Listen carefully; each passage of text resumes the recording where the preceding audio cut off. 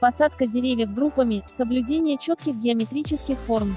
При создании ландшафтного дизайна в классическом или регулярном стиле групповая посадка деревьев выполняется с соблюдением четких геометрических форм, что позволяет подчеркнуть лаконичность ландшафта, его строгие и правильные линии.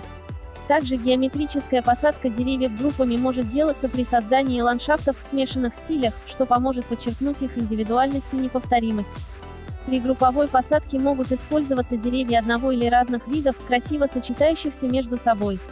Если информация оказалась полезной, ставьте лайки и подписывайтесь на нашу страницу.